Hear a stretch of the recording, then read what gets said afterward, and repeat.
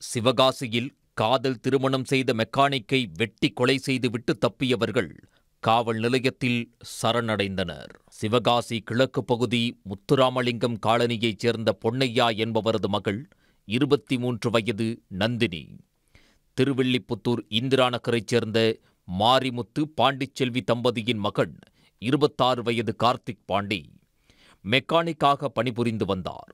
அவரது பெற்றோர் வெவ்வேறு சமூகத்தைச் சேர்ந்தவர்கள். தாய் தந்தை இறந்த பின்பு கார்த்திக் பாண்டி தனது பாட்டியுடன் வசித்து வந்தார். அவர் மாற்று சமூகத்தைச் சேர்ந்த நந்தினியை காதலித்து கடந்த எட்டு மாதங்களுக்கு முன்பாக திருமணம் செய்து கொண்டார். திருமணம் நடந்த கையோடு சிவகாசி மேற்கு பகுதி ஐயம்பட்டி கிராமத்தில் தனி வீடு எடுத்து வசித்து வந்தனர். சிவகாசியில் இருந்து திருவெள்ளிப்புத்தூர் செல்லும் சாலை தேவர்குளத்தில் கார்த்திக் பாண்டி வாகனங்கள் பழுது நீக்கும் கடை நடத்தி வந்தார்.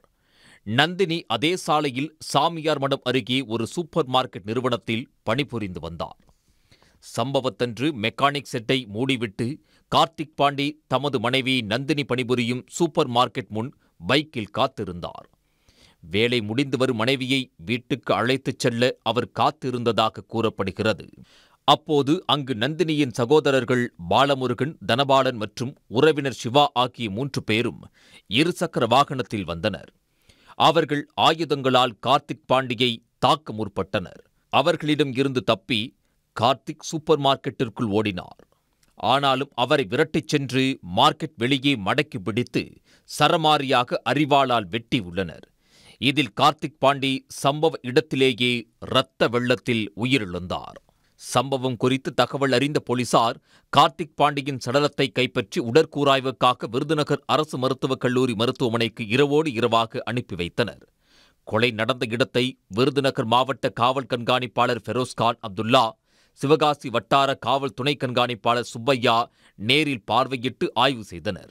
இதற்கிடையே கார்த்திக் பாண்டியை கொலை செய்துவிட்டு வாகனத்தில் தப்பியோடிய மூன்று பேரும் திருவெல்லிபுத்தூர் காவல் எல்லைக்குட்பட்ட மல்லி காவல் நிலையத்தில் சரணடைந்தனர்.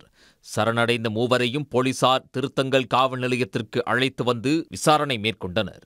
இச்சம்பவம் குறித்து வழக்கு பதிவு செய்த திருத்தங்கல் போலீசார் கார்த்திக் பாண்டி ஆணவ கொலை செய்யப்பட்டாரா அல்லது கொலைக்கு வேறு ஏதேனும் காரணம் ஏதும் உண்டா என பல்வேறு கோணங்களில் விசாரணை மேற்கொண்டு வருகின்றனர். உடனுக்குடன் செய்திகளை தெரிந்து கொள்ள சன் நியூஸ் பெல் கிளிக் பண்ணுங்க.